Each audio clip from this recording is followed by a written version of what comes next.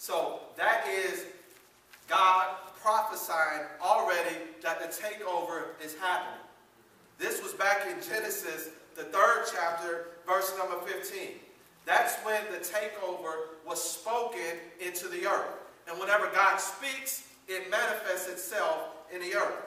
So what I want to do, let's go to Galatians 4. Let's go to Galatians, the fourth chapter. This is the way that I learned uh, what was after first, after Acts, you got Acts, and then you have Romans. You have First Corinthians and Second Corinthians. This is the acronym that I learned because I used to get Galatians, Ephesians, uh, Philippians, and, and Colossians mixed, mixed up. Somebody shared with me this acronym, GEPC. Go eat pork chops, because I love pork chops. All right?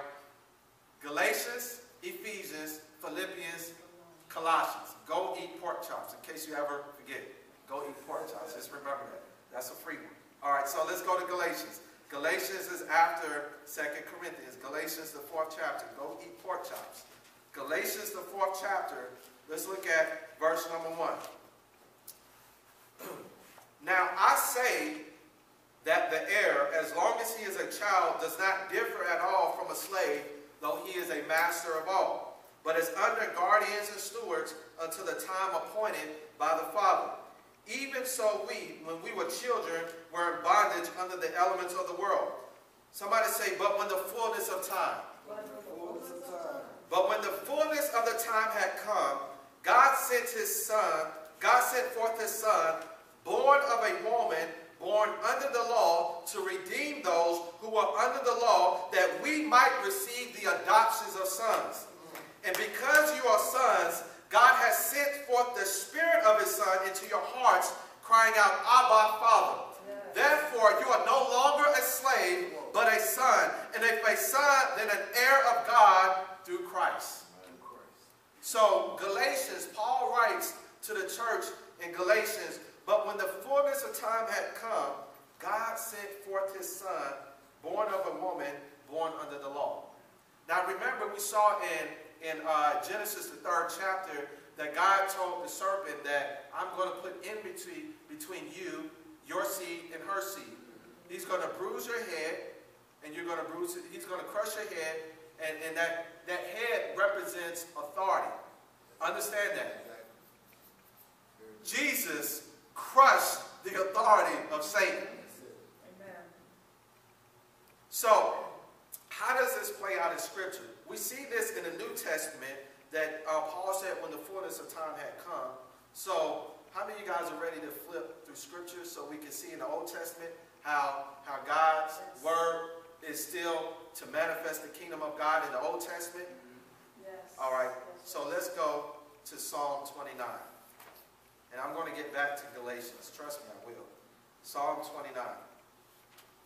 I want to show everybody through Scripture how this kingdom message is not something I'm making up, but this kingdom message is the theme throughout the whole Bible. And God is serious about getting his kingdom here on earth. Psalm 29.10. Psalm 29.10. It says, The Lord sat enthroned at the flood, and the Lord sits as king forever.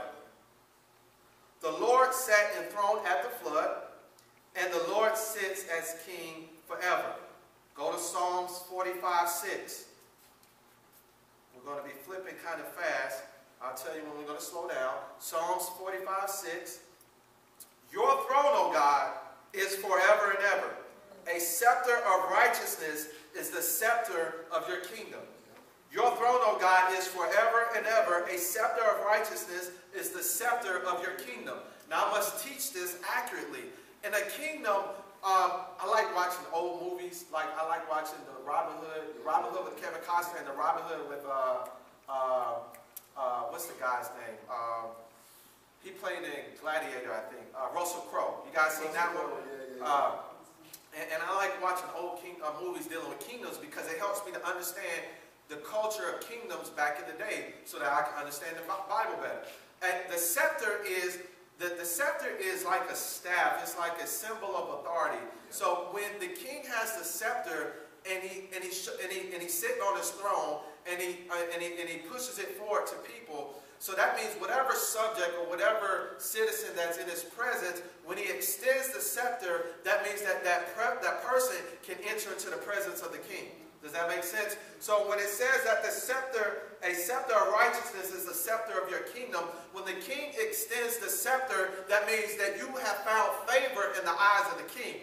So when the king, when it says that a scepter of your righteousness is the scepter of your kingdom, that means that in order to please the king, we have to walk in righteousness. We have to be in right standing with the king. So it is not about the outward stuff that we do. It's all about the heart. So whenever our heart is right, whenever we are in right alignment with the king, that means that the King of glory has extended his scepter to us so that we are able to come in his presence whenever we want. That's why in, in uh, Matthew 6 33, Jesus said, But seek first the kingdom of God and his righteousness. We have to be in right standing with the king. Why? Because whenever we are in right standing with the king, he extends his scepter, his favors upon our life. So whatever we need to carry out the task that God has given us to carry out, we have an unlimited access to the resources of the kingdom of God. Does that make sense? All right. Let's go to Psalms 103, looking at verse 17 through 19. Psalms 103 um, verses 17 through 19. But the mercy of the Lord is from everlasting to everlasting on those who fear him, and his righteousness to children's children, to keep uh, to such as keep his covenant, and to those who remember his commandments to do them. The Lord has established his throne in heaven, and his kingdom rules over all. The Lord has established his throne in heaven, and his kingdom rules over all. Psalms 145, 11 through 13. Psalms 145, 11 through 13. When I read this this week, I began to honor the Almighty God because I read the whole chapter. I'm just blessed right here. Verse number one says, I will extol you, O my God, O King. I will bless your name forever and ever. Every day I will bless you and I will praise your name forever and ever. Great is the Lord and greatly to be praised, and his greatness is unsearchable.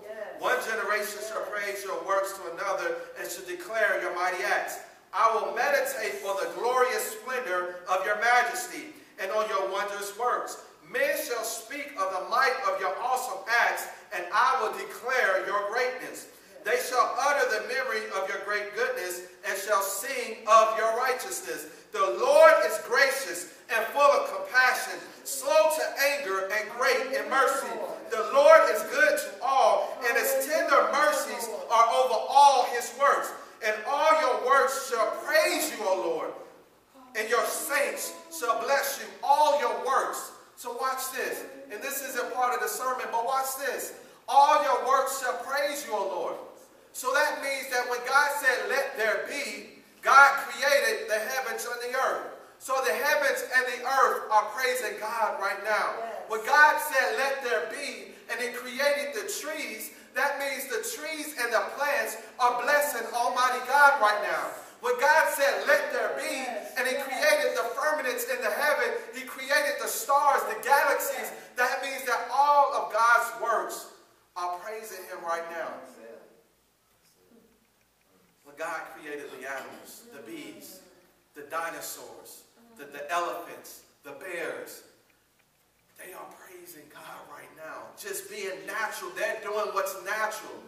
The only thing of God's creation that's not doing anything natural is us. But that is changing. That has changed when the King of Glory came to earth. Yes. Because he brought forth the message of the kingdom of God. Hallelujah. They shall speak, verse number 11, they shall speak of the glory of your kingdom and talk of your power, to make known to the sons of men his mighty acts and the glorious majesty of his kingdom. Your kingdom is an everlasting kingdom, and your dominion endures throughout all generations. Your dominion endures throughout all generations. Remember, I'm, laying the foundation. showing you guys that God intended for his kingdom to come to earth. Let's go to Isaiah. Isaiah, the ninth chapter. Isaiah, the ninth chapter, starting at verse number 6. Isaiah, the ninth chapter, starting at verse number 6. Isaiah is right after the book of Ecclesiastes, which is after Proverbs, which is after Psalms. so Psalms, Proverbs, include, uh, yeah, that too. So Isaiah, the ninth chapter, verse number 6. I love this. We sing this at Christmas time.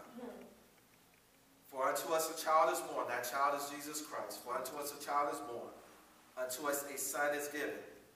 Somebody say, and the religion shall be on his shoulders. Oh, it doesn't say that? No. Okay. Um, so it says, and the religion shall be upon his shoulders? Okay. Um, so it says, and the government Yes. shall be upon his shoulders. Yes. And his name will be called Wonderful, Counselor, Yes. Mighty God, Everlasting Father, Prince of Peace. And of the increase of his government and peace, there will be no end. Hallelujah. Upon the throne of David and over his kingdom, to order it and establish it with judgment and justice from that time forward, even forever. Somebody say, forever, ever? Forever. Y'all remember that on Friday, forever? All right.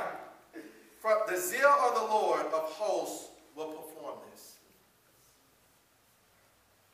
So God spoke through the prophet Isaiah. For unto us a child is born, unto us a son is given, and the government, that government is the kingdom of God, shall be upon his shoulder. In verse number seven, of the increase, watch this, of the increase of his government and peace, there will be no end. All right, let's go to Jeremiah 10.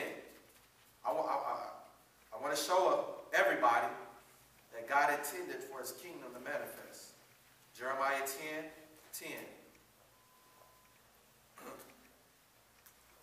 Can you turn that AC up a little bit? It's a little bit chilly. I don't want to sweat, man. Thank you very much. Jeremiah 10, 10. but the Lord is the true God. He is the living God and everlasting what? King. At his wrath the earth will tremble, and the nations will not be able to endure his indignation. He is the living God and the everlasting King. Daniel 4, 34. Daniel 4, 34. For those that may be watching this after it's posted, you may be saying, it's a lot of page turning. Well, we got to know scripture, right? Amen. Scripture interprets scripture. Mm-hmm. And I want everybody to study, even after I preach, don't take what I say, study it for yourself. Yes, yes. So you can get your own revelation. You're going to get revelation while you're here, but God intends for you to have a personal revelation as well.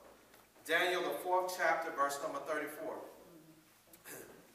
And at the end of the time, I, Nebuchadnezzar, lifted my eyes to heaven, and my understanding returned to me, and I blessed the Most High, and praised and honored him who lives forever.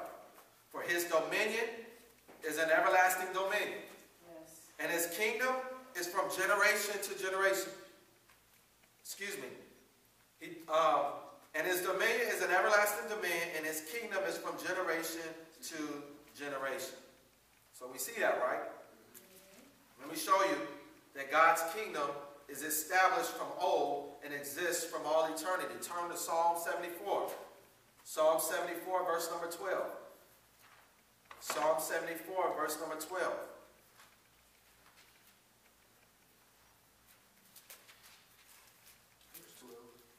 Verse 12. For God is my king. Notice these words, these terminologies. Throne, kingdom, dominion, everlasting to everlasting. You know, scepter, righteousness.